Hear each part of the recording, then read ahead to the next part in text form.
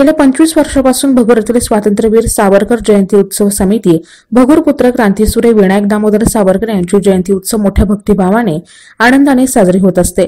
परंतु यावर्षी कोरोना विषाणू संसर्गमुळे या वर्षाची जयंती सोहळा सामाजिक अंतर सांभाळून सोशल डिस्टन्सिंग पाळून तोंडाला मास्क लावून सॅनिटायझरचा वापर करून व शासकीय नियमांचं पालन करून जयंती साध्या पद्धतीने साजरी करण्याचं समितीने ठरवले आहे.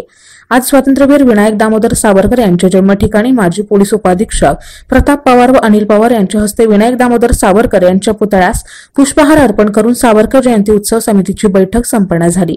या प्रसंगी समितीचे सरचिटणीस प्रशांत कापसे यांनी एनसीएन न्यूजच्या माध्यमातून अधिक माहिती दिली. स्वातंत्र्याच्या अग्निकुंडामध्ये आपल्या संसाराची संविधा अर्पण करून या भारत मातेला स्वातंत्र्य मिळवून देणाऱ्या भगुरपुत्र क्रांतीसूर्य तात्याराव सावरकरांचा जयंती सोहळा हा परवा येत आहे.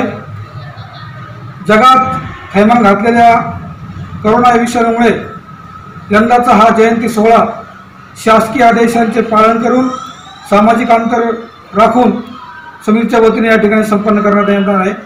परवा म्हणजेच गुरुवारी अठ्ठावीस पाच मे अठ्ठावीस मे रोजी सकाळी आठ वाजता या ठिकाणी समितीच्या वतीने लोकप्रिय खासदार आदरणीय हेमंत अप्पा गोडसे हे या ठिकाणी पुष्पहार अर्पण करतील. आणि सर्व कार्यक्रम हे शासकीय आदेशाप्रमाणे सामाजिक अंतर ठेवून करण्यात येईल.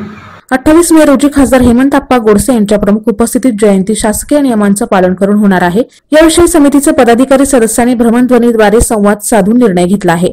या बैठकीप्रसंगी समितीचे कार्याध्यक्ष वसंत पाटील सदस्य अशोक मोजाड अनिल पवार राजाभाऊ सोनवणे किशोर खर्डे भारत चव्हाण सुनील कासार शुभम चव्हाण आदी उपस्थित होते.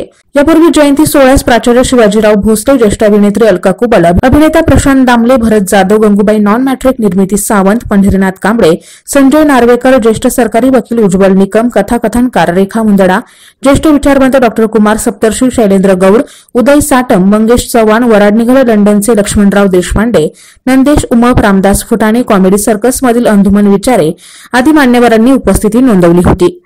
नाशिक सिटी न्यूजसाठी प्रतिनिधी भारत चव्हाण भगूर.